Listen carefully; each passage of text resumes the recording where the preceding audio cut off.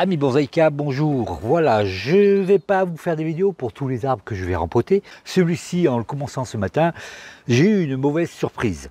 Je vais vous la montrer tout de suite euh, dans la bassine qui est là.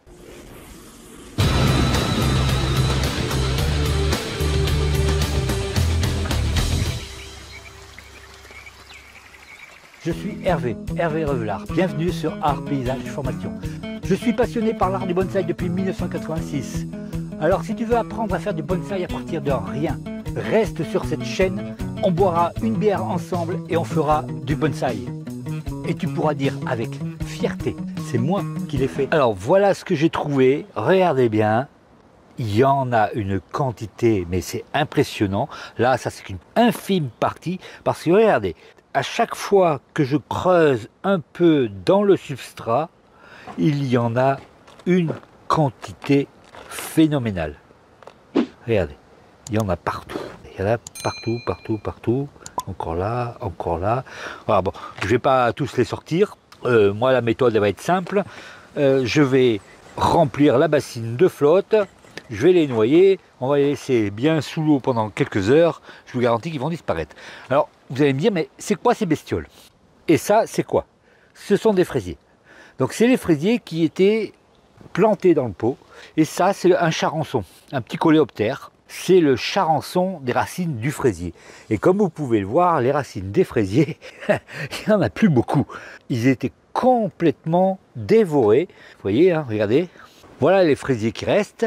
Et ils sont bouffés, dévorés il n'y a presque plus rien dessus. Alors je vais les garder les fraisiers. Hein. Je vais les conserver ces fraisiers, je vais les planter dans les petits pots à part, on va les mettre ailleurs, mais plus question de les mettre avec mes bonsaïs.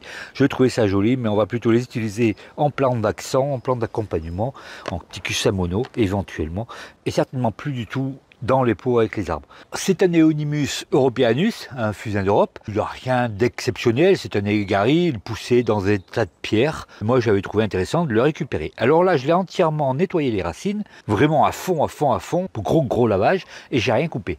Ce genre de choses, je l'ai trouvé très fréquemment sur l'Eonimus. C'est un arbre qui produit peu de racines. Donc je vais peut-être pas en tailler énormément. Et quand on regarde les racines, si on regarde de plus près, eh ben, elles ont bien été bouffées. On voit qu'elles ont été dévorées elles ont vraiment été dévorées sur tout le tour. Hein. C'est bouffé de partout, partout, partout.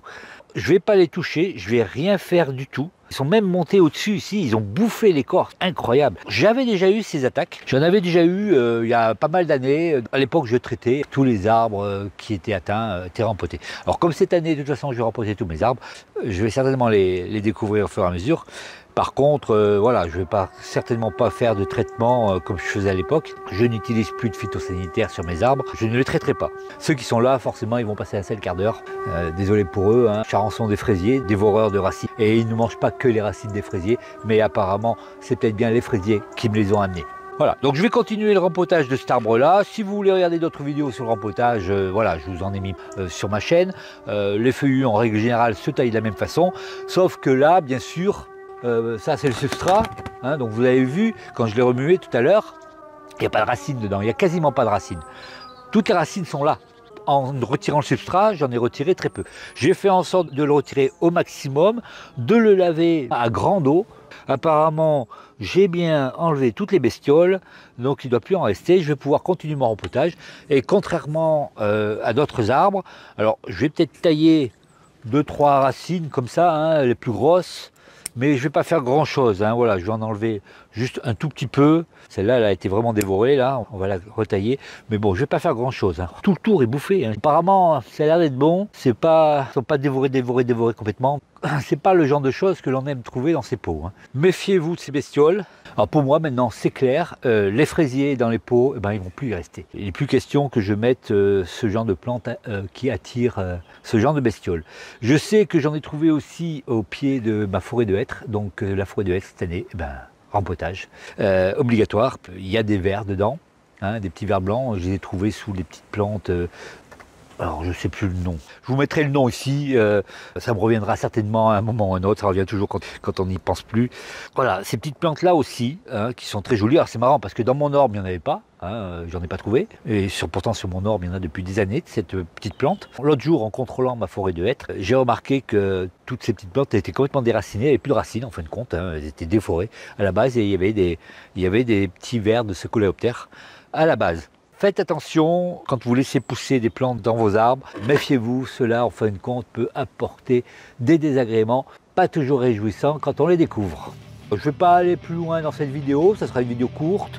Je vous remercie de votre attention, je vous dis à très bientôt. N'oubliez pas, comme d'habitude, c'est le moment de vous abonner si ce n'est pas encore fait et de cliquer sur la petite cloche qui apparaîtra juste après. Plein de likes, plein de commentaires, c'est bon pour l'algorithme de YouTube. Je vous dis à bientôt, bisous